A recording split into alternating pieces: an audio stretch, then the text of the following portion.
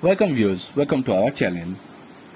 The ICC has urged to stop putting India and Pakistan in the same group in a major event by former English cricketer David Lloyd.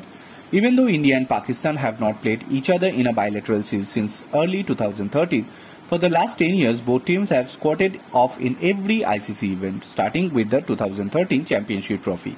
India and Pakistan have batted across all editions of the 50 over World Cup in the T20 World Cup and Champions Trophy. But while it is obvious that India versus Pakistan games are a treat for the public eye, more so in ICC events, it should not be pre-scheduled, feel former English cricketer David Lloyd. During the chat on Talksport, Lloyd was asked if the ICC should stop formatting the major tournaments in a way that India and Pakistan bound to play each other at least once, basically by pulling the two teams in the same group, Bumble, as he fondly known, known for his fixing matches. Not in the slightest, he said when asked it will be looked in a sacrifice. You just spoke about the independence of the fixtures. We talk a long and hard about fixing in the cricket that is fixed. It's just fixed for a major event. I think the romance of anything is like this if they do drawn together. Not that they are, but if they do. This is a romance to it.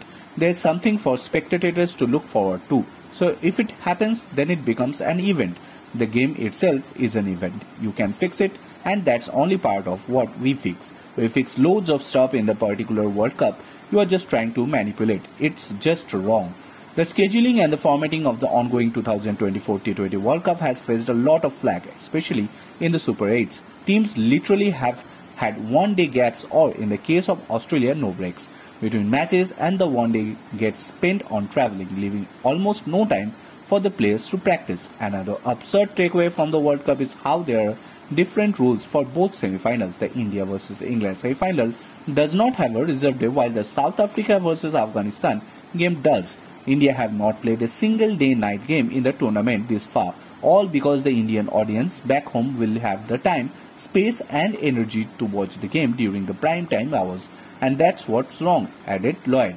It's just not fair for the other teams. You can go round and round and talk about it forever. We are just manipulating the tournament for the benefit of few. If you look at the TV audience in India, they would watch anything, there and any time. It is a religion. It is to be and or for.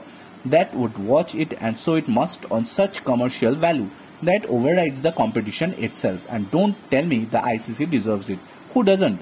Whoever it is, the opening group must not be told that why you doing it. It must happen. The mustn't happen and it is very unfair to the other teams. Come up with the best World Cup you can you can put together for the supporter. Bureau Report.